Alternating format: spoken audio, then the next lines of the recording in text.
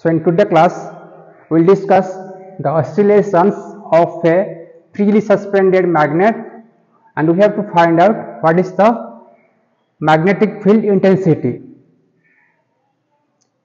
So when you suspend a bar magnet in a uniform external magnetic field, then the bar magnet will experience a torque due to which it oscillates and rotates in a clockwise direction and the value of torque tau that is given by mb sin theta.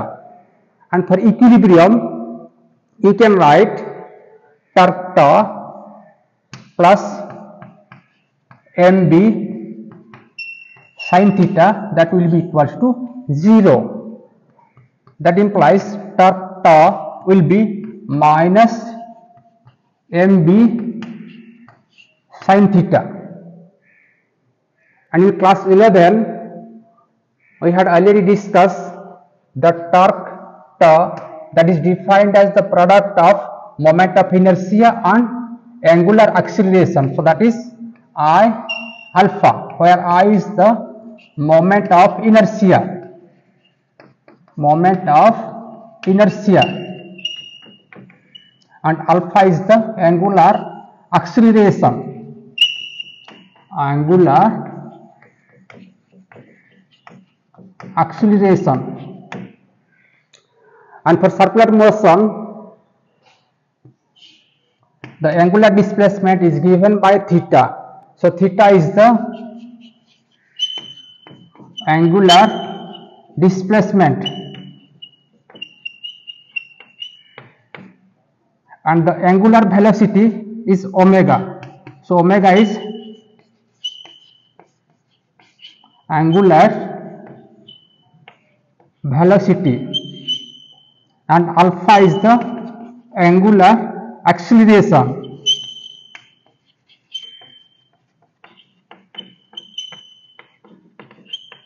Angular acceleration. And the relation between angular displacement angular velocity and angular acceleration is omega. The angular velocity that is d theta divided by dt. And the angular acceleration alpha that is d omega divided by dt that is equals to d square theta divided by dt square. So in place of torque tau you can write that is equals to i alpha that will be equals to minus mb sin theta. And for smaller value of theta sin theta will be nearly equals to theta. So you can write for smaller value of theta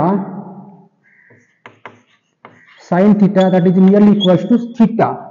So in place of sin theta you can write theta as the displacement angular displacement is small.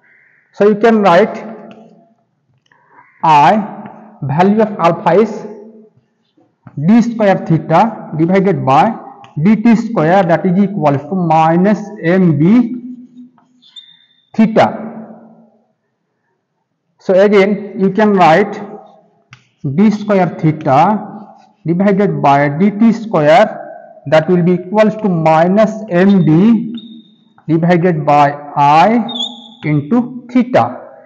And here you find a negative sign here which indicates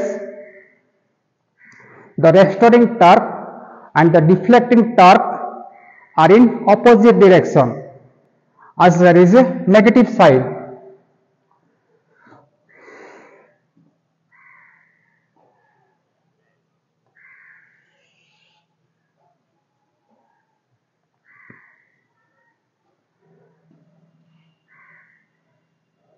So, you find this equation d square theta divided by dt square that is equals to minus mb divided by i into theta.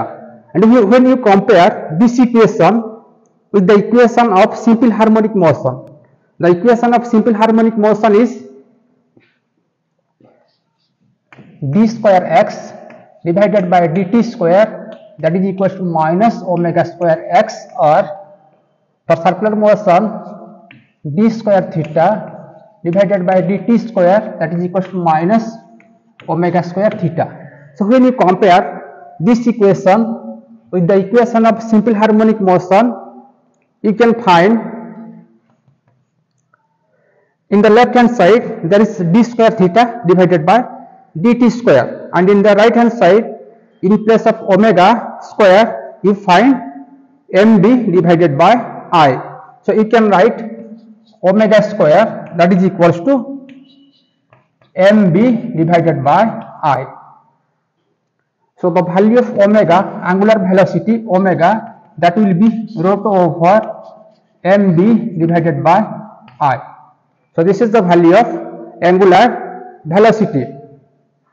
And the time period, the time period t, the formula is 2 pi divided by omega. This gives you the time period. So the time period will be 2 pi, the value of omega is root over mb divided by i.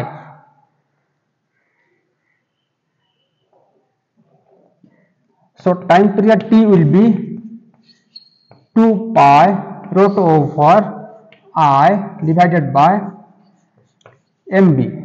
So when you taking the square of both the side, you find T square will be equals to 4 pi square I divided by MB. And when you rearrange this equation, to find the value of magnetic field intensity, the equation T square that is 4 pi square I divided by MB. Here you find the value of magnetic field intensity B. That will be 4 pi square I divided by MT square. So this is the value of magnetic field intensity which is required.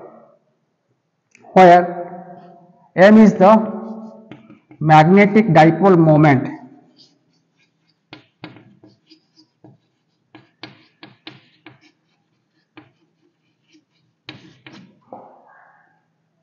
I is the moment of inertia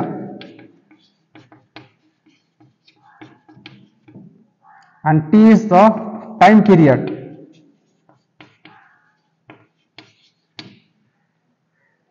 So this is the value of magnetic field intensity when a bar magnet is suspended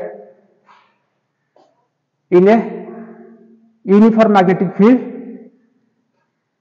A torque is applied on the bar magnet that's why it starts oscillating.